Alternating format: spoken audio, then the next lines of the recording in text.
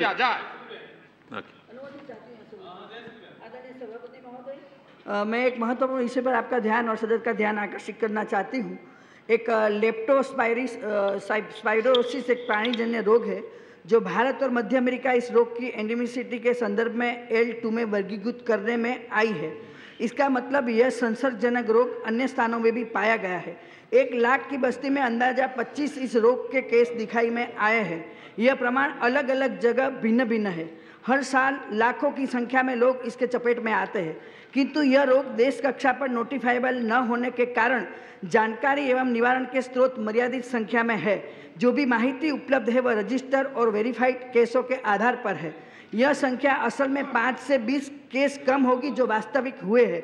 गुजरात में यह रोग गरीब आदिवासी लोगों में नज़र आता है।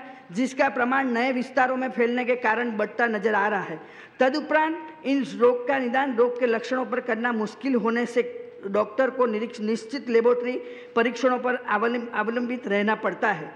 इसका परिषद, परीक्षण निश्चित अद्यतन लेबोरेटरी में कर सकते हैं। यह रोग विविध प्रकार के प्राणी प्राणियों में नज़र आते हैं तथा इस रोग के जिम्मेदार जंतुओं की जटिलता के कारण इस रोग की अटकायत नियंत्रण हेतु सेंटर ऑफ़ एडवांस रिसर्च की दरखास्त दिनांक 15 दो 2012 को भारत सरकार को पेश की गई थी। अगर ऐसी संस्था गुजरात में स्थापन की गई तो इसका लाभ पड़ोसी राज्यों को भी मिलेगा। अतः मैं सरकार से अनुरोध करती हूँ. कि उपरोक्त सेंटर जल्द से जल्द गुजरात में स्थापित करें।